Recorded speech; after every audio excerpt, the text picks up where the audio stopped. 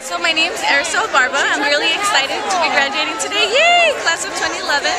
Um, being at Cal State LA was an amazing experience.